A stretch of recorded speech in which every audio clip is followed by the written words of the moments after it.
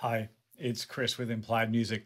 Every so often, I'll run across a tune that just embodies some of the ideas we've been talking about on the channel. Um, a song that I love for that is What a Wonderful World. Let's take a look at it.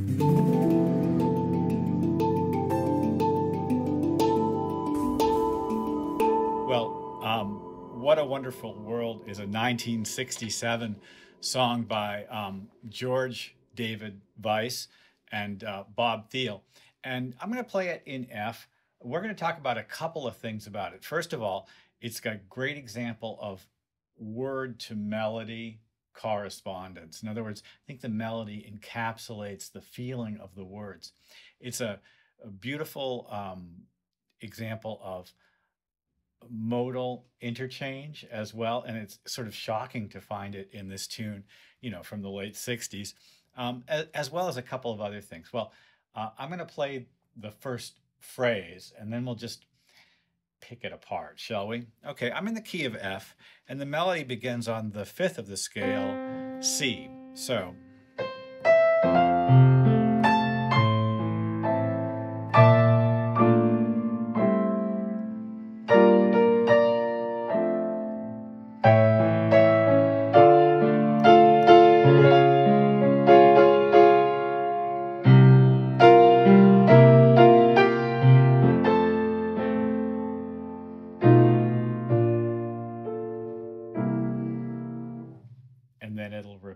Well, right in those first eight bars, we've got a couple of devices, musical tools that create a very expressive language.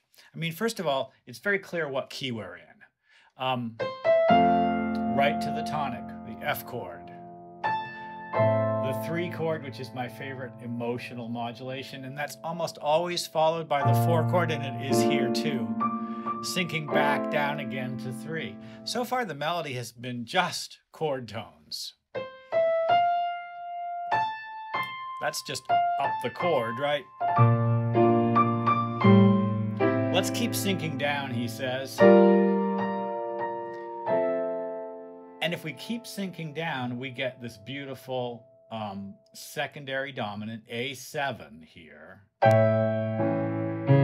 It's a dominant chord. A7 leads to D minor. In other words, a deceptive cadence. So we've wound up back on the tonic of the scale. And this note here is the minor third of D minor.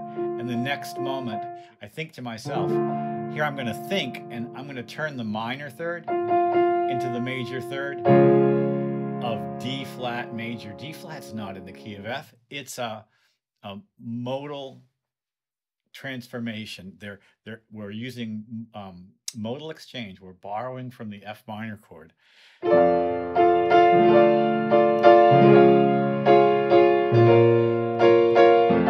In order to grab that D flat. And it's a surprising and uplifting moment. A major chord where there was a minor chord just a moment before. The third, the minor third, becomes a major third. It's genius.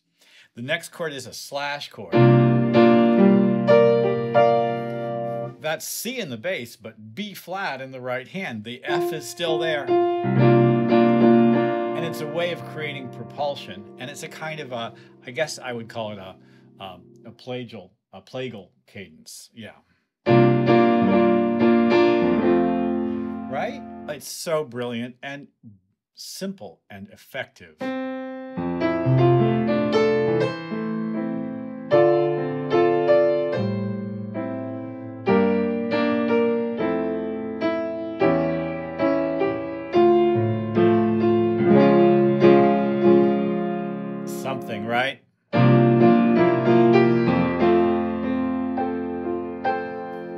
Well, the bridge just goes to the five chord.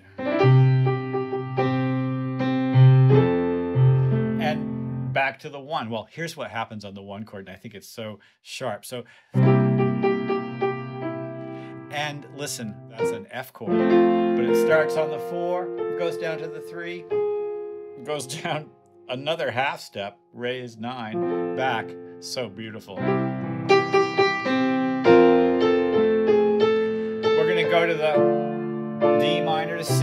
Now this is the the sixth chord to five, sixth chord again.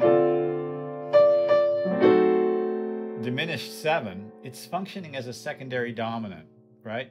It's functioning as D7. And the next chord, of course, since D7 pushes to G, is G minor. G minor 7 is the 2, 2, 5, 1, and we're off to the races again. Listen, I'm going to just change the mic setup and uh, I'll play the whole thing for you.